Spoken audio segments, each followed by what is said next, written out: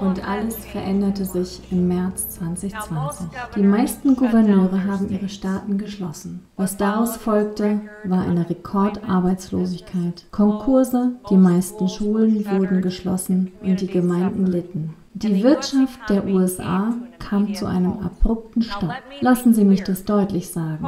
Nicht Covid-19 hat die Wirtschaft zerstört. Die Regierung hat die Wirtschaft zerstört.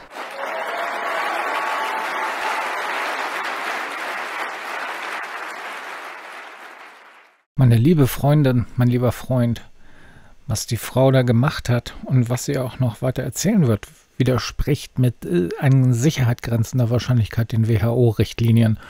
Und da wir schon zwei Strikes haben, hören wir dann hier mit dem Video auf. Du findest aber in der Videobeschreibung und in dem angehefteten Kommentar die Links für das ganze Video.